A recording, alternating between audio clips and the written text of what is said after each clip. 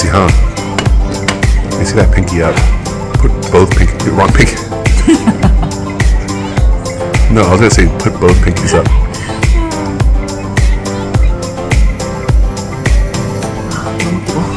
up.